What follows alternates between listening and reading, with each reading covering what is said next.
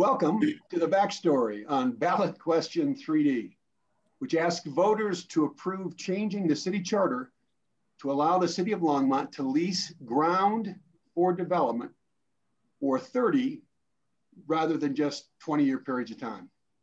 My name is Tim Waters, and as a volunteer for Longmont Public Media, I have the good fortune of interviewing elected officials, city officials, community leaders, uh, leaders in our business community and our nonprofit community on topics of interest and relevance to Longmonters.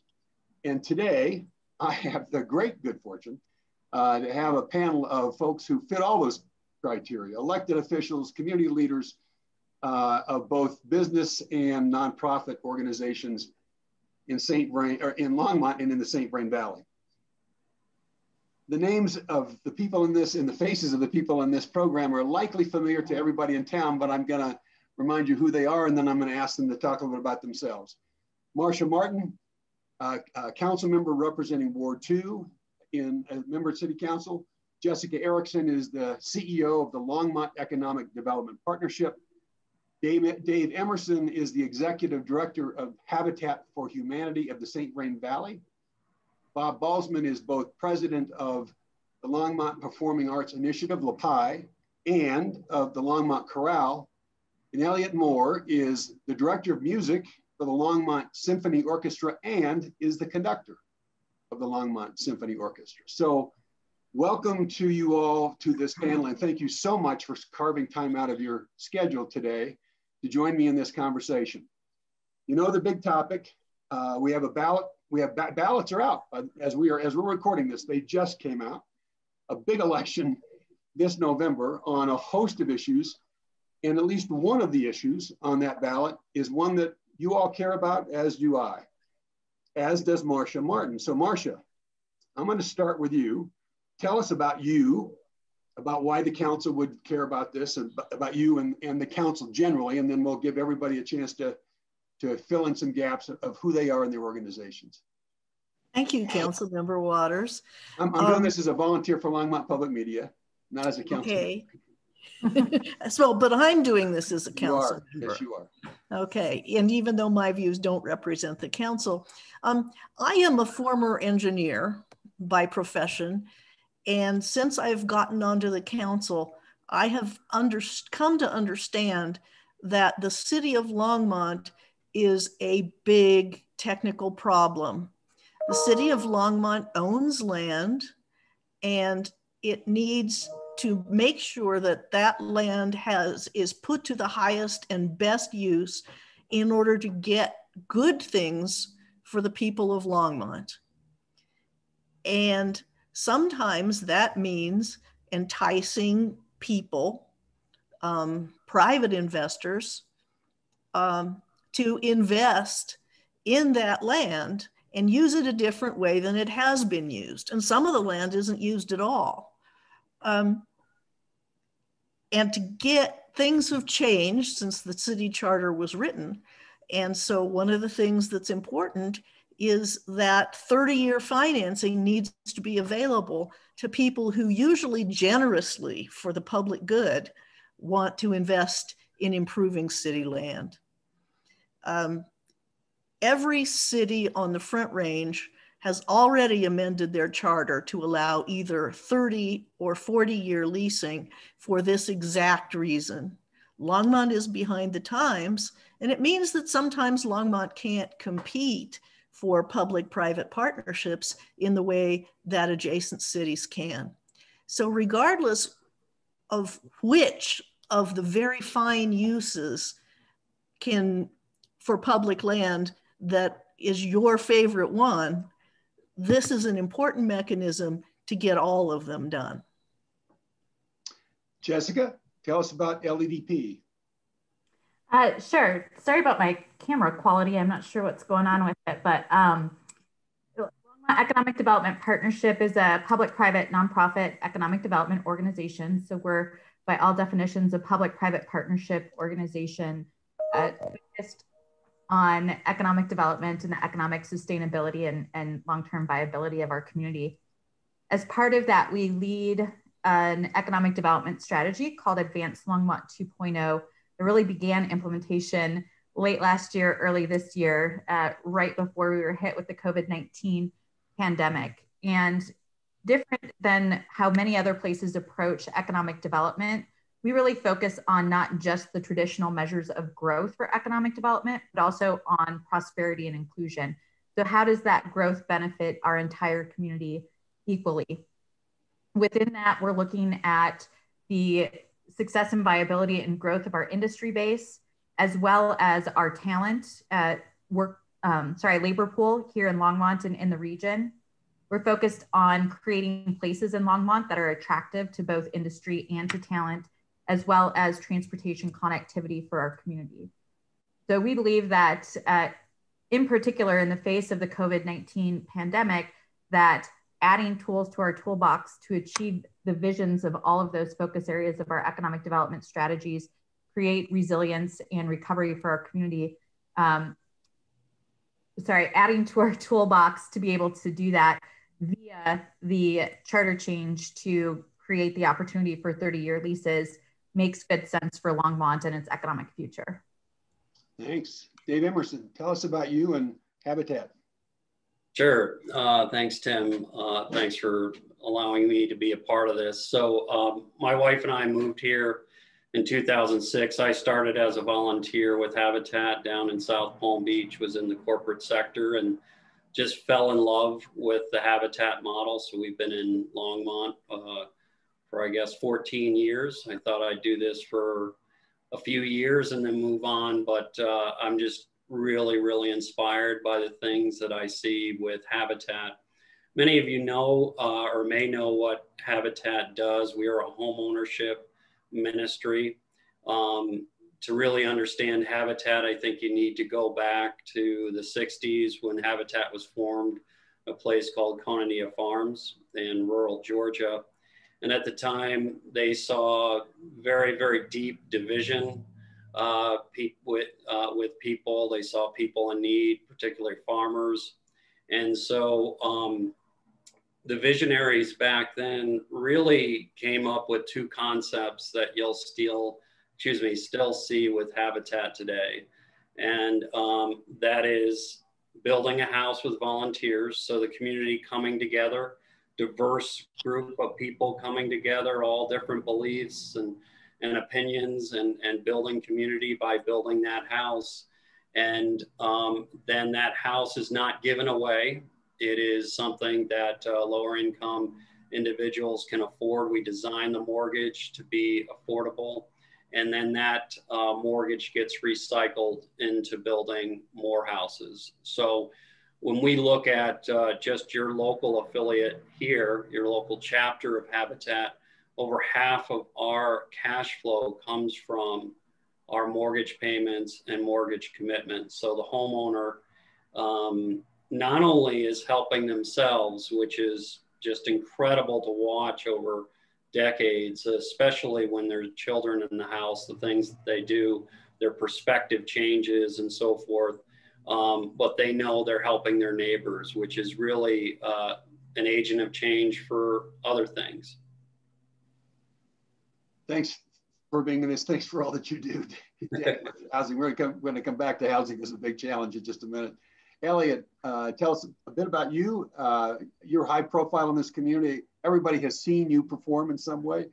Tell us who you are. We, we know how talented you are and, and a bit about LSO. Well, uh, my name is Elliot Moore, and uh, I am the music director and conductor of the Longmont Symphony Orchestra. And it's such a privilege to have that position because what I get to do is work to transform our community through music.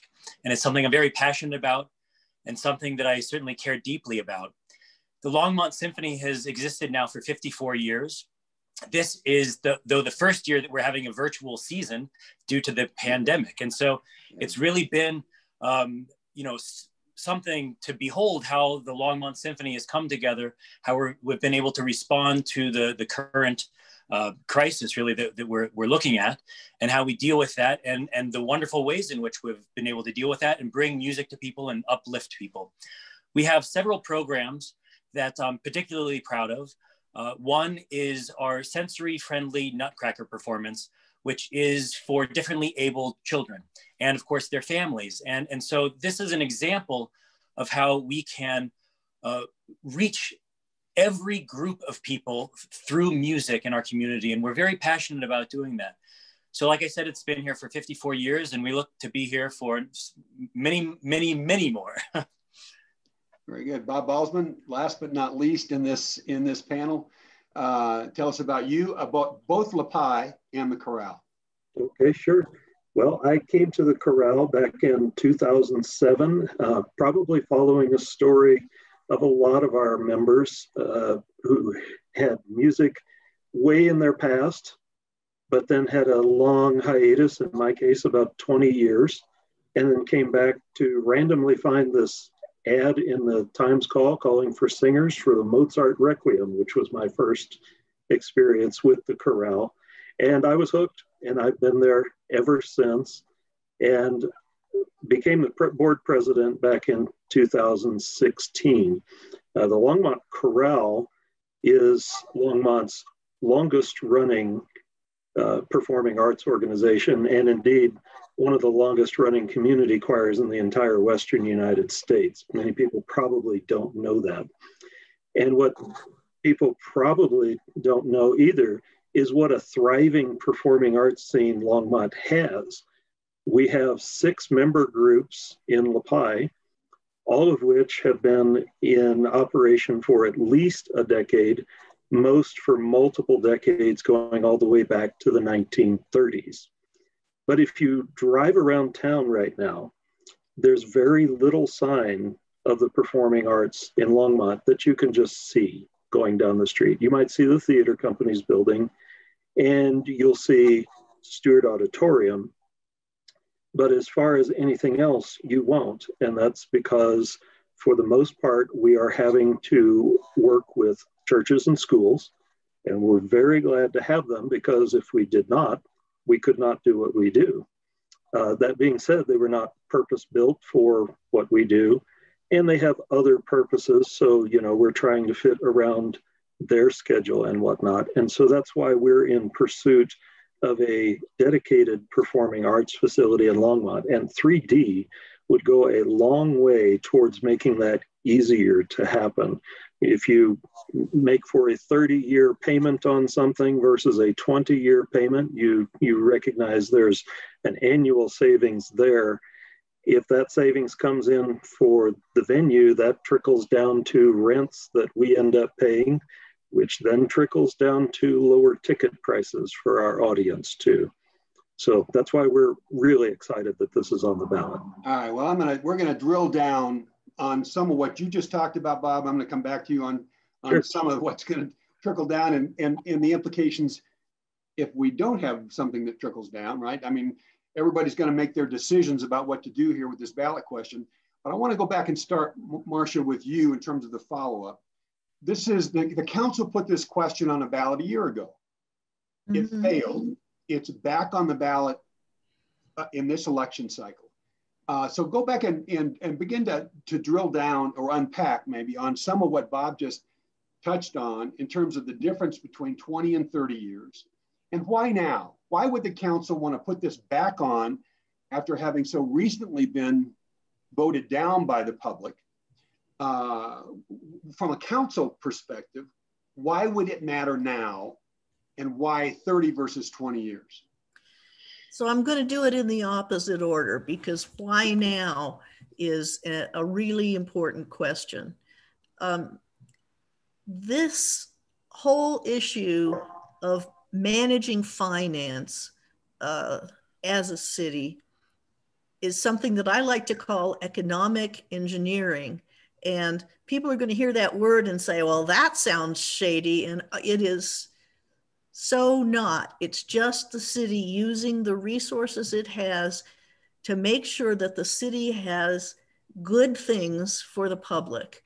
And of all the places I've lived in my life, the city of Longmont and its municipal government is the absolute most devoted to providing good things for the people who live here. You might know that Longmont is limited in its ability to grow.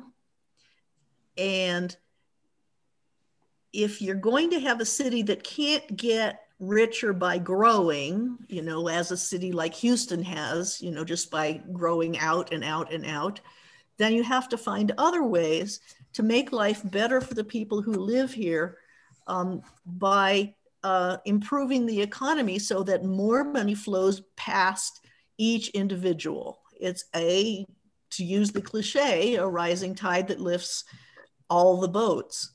And the city of Longmont has is pursuing quietly a number of visions that do that, that cause money to flow into the city of Longmont and stop here so that the raise the wages of our wage workers tend to go up so that um, people have more disposable income so that people have more options available to them and so that people's lives who live here can be richer.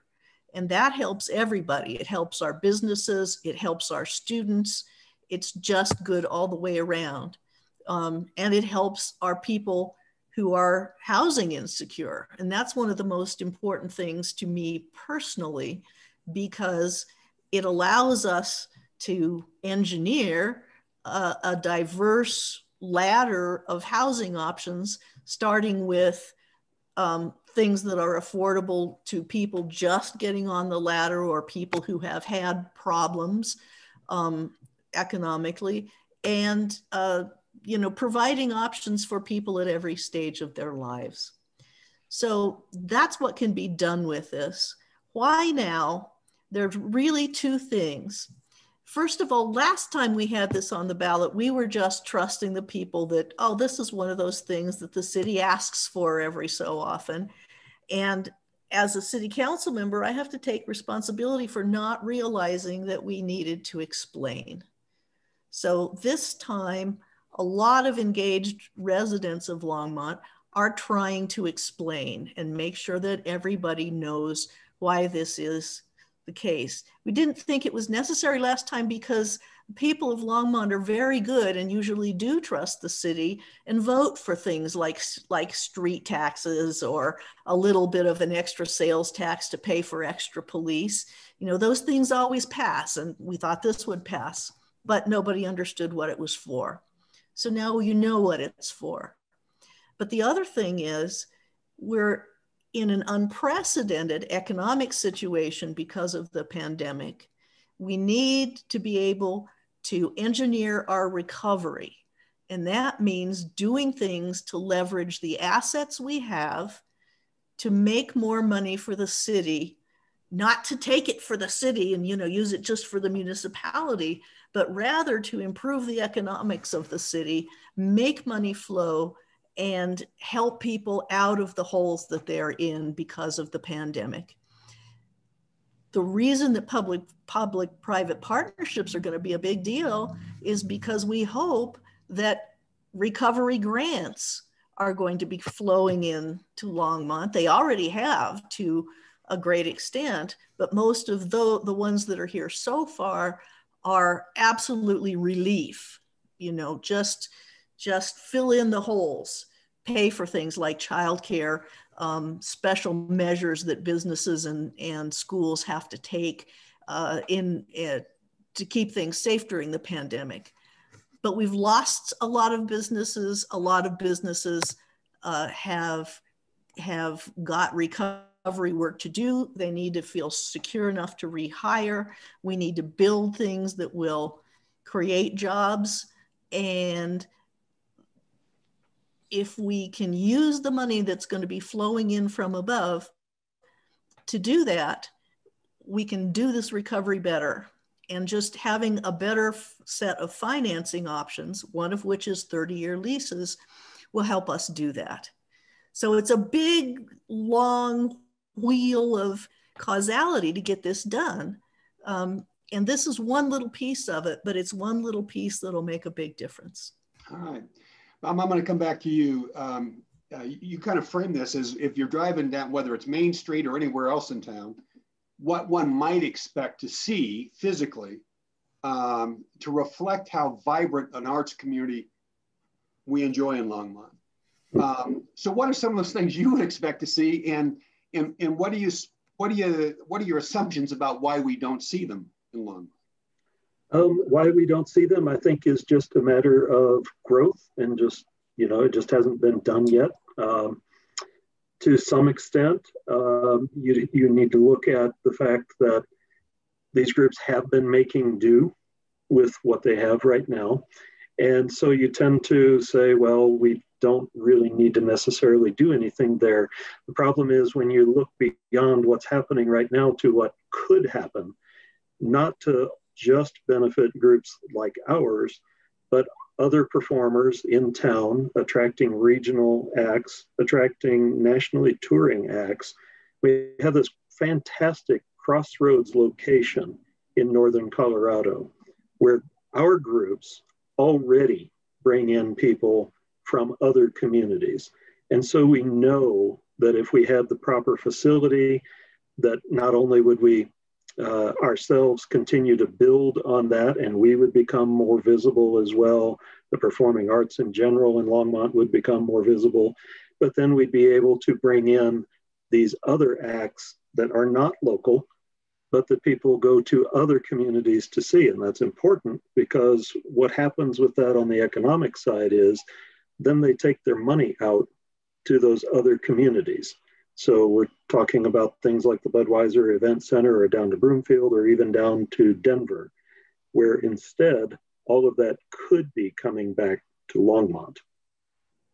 Well, and I'm, I'm at some point in this, I'm going to come back to what's at stake in this election, but I want to I want to move to Elliot.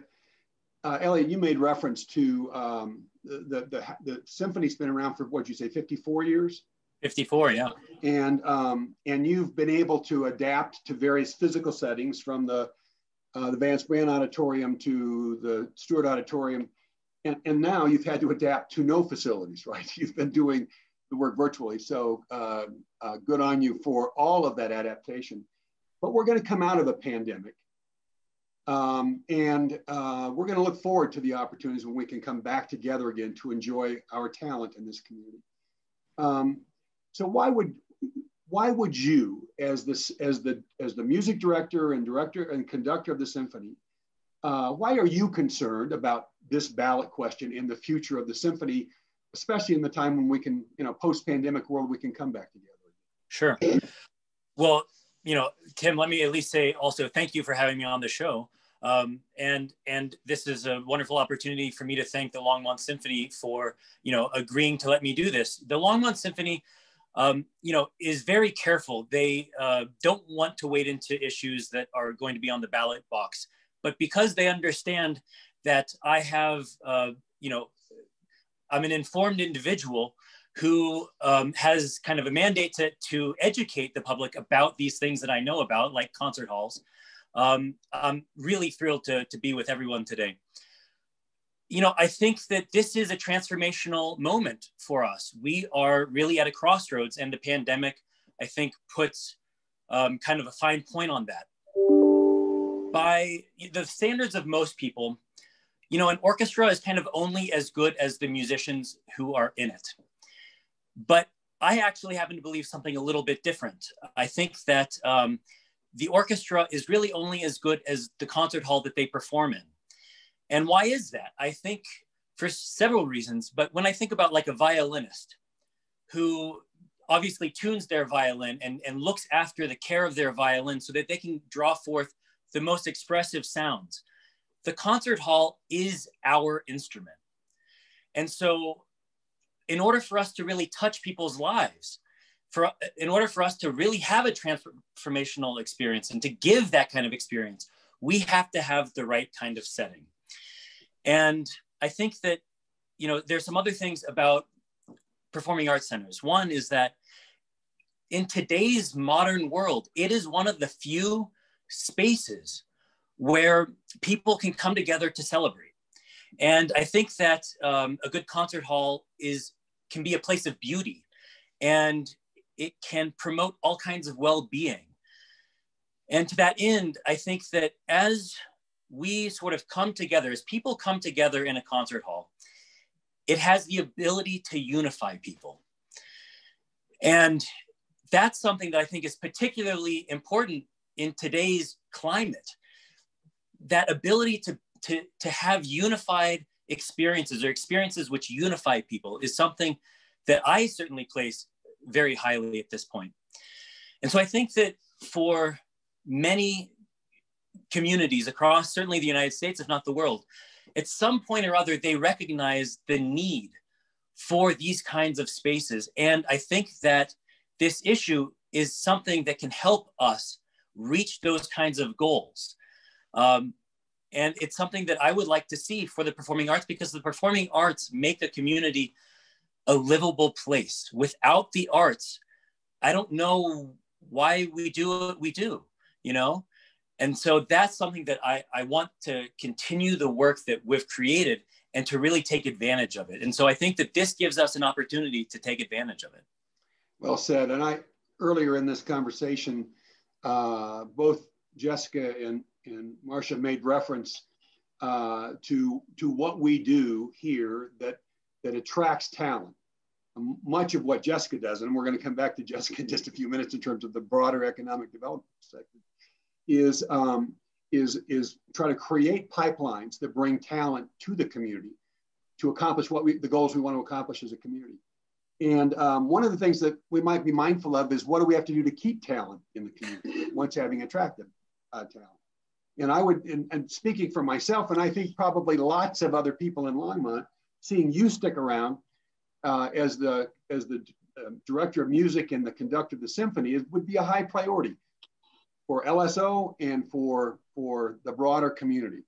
Uh, so as people think about the kinds of things Bob referenced that we'd like to see, um, not only does it make a statement about the community, it makes a statement to those who we'd like to bring to town and keep in town because of the talent um, that they possess and that they share with us. So uh, just part of that perspective. Dave, we're talking a lot about the arts, but there's a whole nother perspective and Marcia made reference to, to housing um, and what, what's possible. We, there's so many ways that communities can get creative and collaborative to create housing options in communities, which is one of our biggest challenges in this municipality and in every municipality, is housing of access and affordability.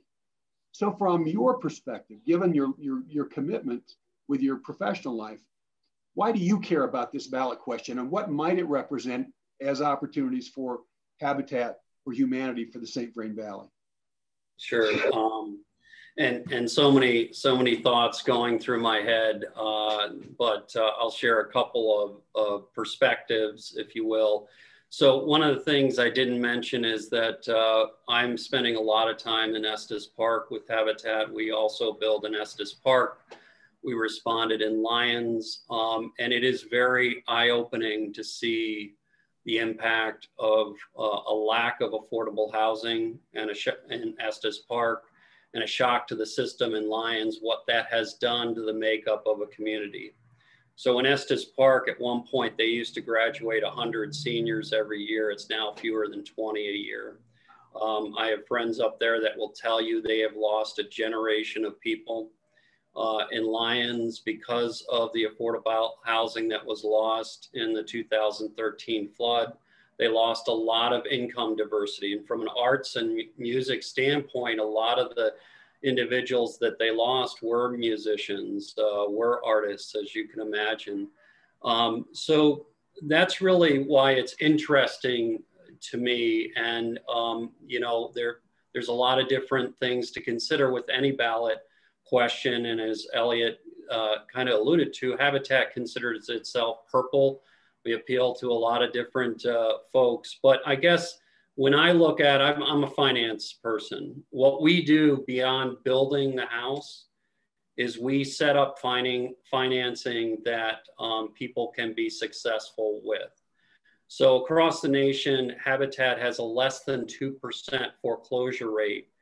And these are for working class families um, who never would have really been able to afford a home. Um, so when we look at uh, that success, obviously we have to keep the cost down. So that's where land becomes available and, and at a affordable rate. but also the difference between a 20 year financing and a 30 year financing, as you can imagine, is profound. It's $300 a month uh, minimum, and uh, that obviously makes a huge difference for someone making $16, $17 an hour. I also think it's kind of ironic that I'm asked to speak today. Um, as I shared, I started in 2006. Today is the first day that I do not have an active project in Longmont. We dedicated two houses on Saturday. Um, and right now we do not, at this moment, have a project. Now the pipeline is very, very good, thanks to the support of the city and others. But uh, those projects are in the entitlement phase and, and it takes time to do, to do it right, to, to account for everything. So land is only going to become a harder and harder challenge. And if we could stretch out somehow the financing and development, we know we can recover the cost within 30 years. So the so is it fair? You know, I'm not in the real estate business and I'm not in the finance business, but I everything I know about this I've learned since I was on the council, elected to council. That like 20% of the cost of developing residential properties is is tied up in land. Is that a fair estimate? That that's fair, and that's probably understated.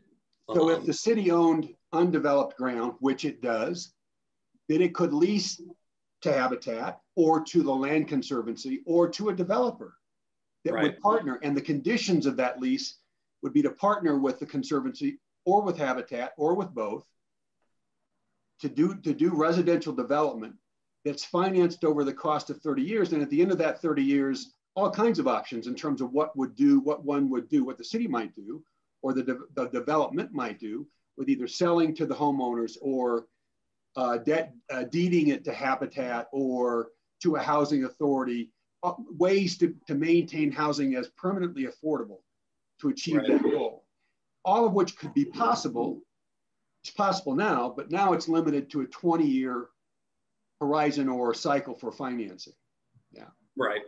Right. And it just is not quite um, quite long enough to stretch yeah. out the, the development. Jessica, um, uh, from your perspective, you, have done economic development in not just this community, you brought experience to this community doing economic development in different communities and at different levels. Uh, why would the Longmont Economic Development Partnership care? And I, and I, and I, and I do know that your organization has endorsed this ballot measure, encouraging Longmonters uh, uh, to support it. Why would LEDP care about this? What's the, what's the bigger competitive uh, context within which we exist now and will in the post-pandemic world? Sure. So I think when most people think about economic development, and which is fair, they think about um, the announcements of large employers and making significant investments and creating a significant number of jobs in the community. Um, we also look at retention of our existing primary industry base and their ability to stay here and grow here in recent years, the number one factor in those decisions, whether it's to stay and grow in place or to relocate to another place coming from somewhere else into Longmont, the number one decision making factor is availability of talent. availability of talent in the local region, but also the ability to attract talent from other places where um, the talent that they need is currently located. And in order for us to be an attractive place for talent here in Longmont, there are a number of factors that we have to have as a community. Those include things like affordable and attainable housing, um, affordable and quality childcare, um, as we've talked about so many times, quality education, um, and a quality of place, a quality of life that is unmatched by other places in the country and, and in the region. The reality, though, is that projects that create those things that create education and childcare and affordable housing and cultural facilities aren't necessarily the most, uh, don't necessarily have the highest direct fiscal return on investment. What they bring is the bigger picture economic return on investment for our community. So, in the form of wages, in the form of quality of life, in the form of ability to attract and retain talent, to develop our own talent and and induced and indirect spending for those people who are coming to and moving to our community to take advantage of that value here. And so, in order to make those projects happen, understanding that on both on the both on the public and private side, don't create the highest ROI from a direct fiscal perspective. It creates an environment where public private partnerships become necessary and a stacking of financial tools in order to make those projects fiscally viable is absolutely necessary. And one of those things that we can do is, as Dave's talked about, create a financing mechanism that allows for the city to enter into 30 year leases in order to support on the public side financing of those projects that out of necessity are going to have to be invested in by the private sector. And for you, I'll ask you, I'll ask, but I'll ex extend this to Marcia and to, to the, the gentleman in this, in this panel as well. Um, and I think it's a pretty straightforward answer to the question. If this does not pass, um, what are the options uh, available for uh, LaPie, uh, a concert hall, for, uh, for, for housing, for development of affordable housing, or any of a vast number of other things we might want to do as a community. If we're not going to be able to create an environment where we can put together public-private partnerships that benefit the community, what's the option for generating the resources to do the kinds of things we're talking about wanting to do? That was a softball question. Marcia, you know. I mean, there, there's always putting a tax question on the ballot. That's for, the answer. That's the answer. Which, I mean, and, and recent history tells us that there's not, and whatever your opinion on that is, that there's not a lot of appetite for that, right? We at a state level turn down uh, um, funding of transportation through increased taxes. We at a local level turn down funding, public funding of um, uh, an additional recreation and sports facility with a um, hockey rink and pool. And so if that's not an option, um, let's consider some of these other options like the 30 year lease to allow for us to be able to provide those amenities to our community. Yeah, I, a year ago, um, some of the criticism, Mar and Marcia, you may want to weigh in on this. Some of the criticism of this of this ballot question was that there wasn't a proposal on the table. There mm -hmm. wasn't a public-private partnership on which we could vote. Well, that's not the way these things work. Right. First, you have to change the condition to attract, you know, the interest. Um, so there's not a proposal on the table, and it's unlikely that we would have one uh, if we're competing with other communities that allow for 30 or 40 year financing and we're limited to 20. Is that fair? Yes, I certainly think it's fair.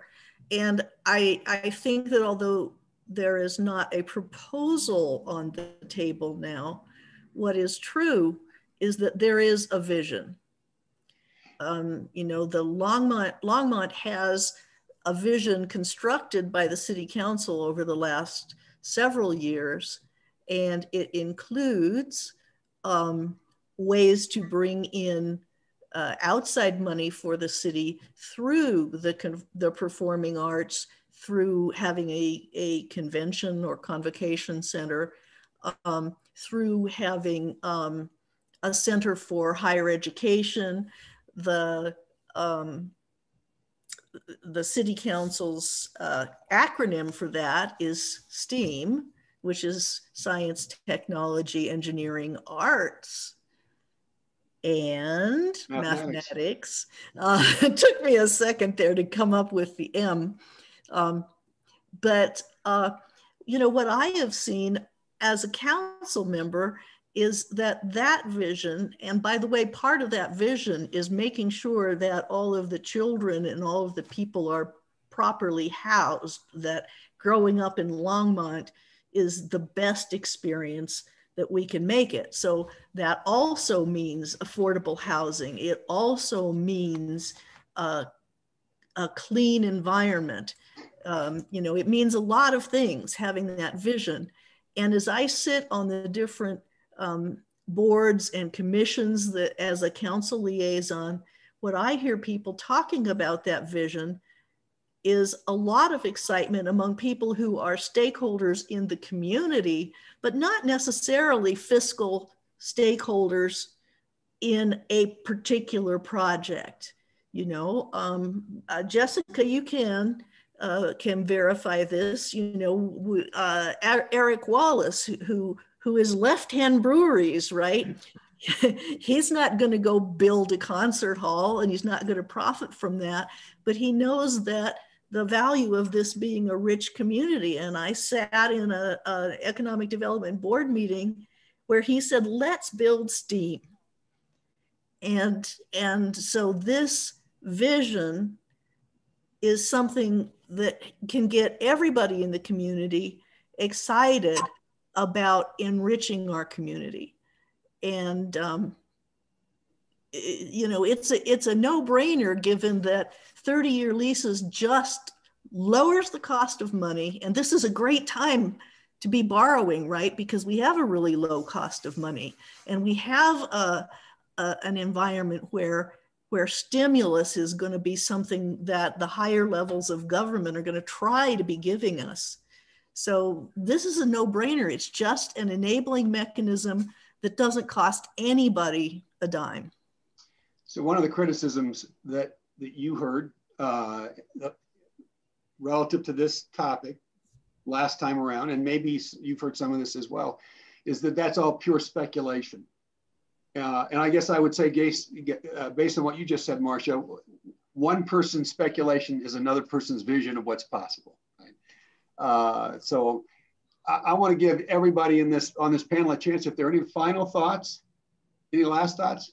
If I can, Tim, I, I would say that the um, the only thing I would add is when you're you're talking about land and and uh, doing something with land, um, you have to have a bit of certainty to begin investing in time and money before you really know what you have. And if um, you don't have the option, if it's if it's 20 years, you have to set your expectation there, and it really I can see a lot of uh, potential really never getting off the ground because um, the conditions are not there to even explore what is possible, if that makes sense. The, and the conditions that do exist in other communities with right. which we are competing, right? I mean, you're not dancing, we're competing just straight up. Any other final yeah. thoughts?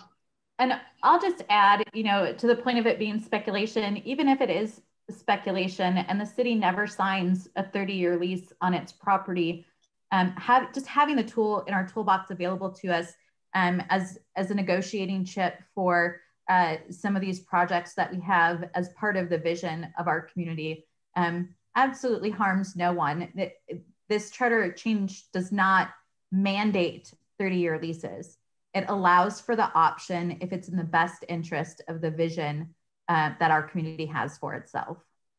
And it's fair to say that voters would have to decide whether or not they believe their city employees and their elected council members are smart enough to, no- to negotiate terms in a public-private partnership that serve a variety of interests, but fundamentally first, the community and, and Longmont residents. Fair? Yes. All right. I, I want to thank you for your time in this program, but more importantly, I want to thank you for all that you do. Everybody on this panel, uh, you make such extraordinary contributions to the life of this community. Uh, so as, as a resident, I want to say thanks. As a city council member, I want to say thanks. And as a representative of the larger community, I want to say thanks for all you do every day, 365 days a year on behalf of Longmont. Thank you. Thank you so much. My pleasure. Thank you.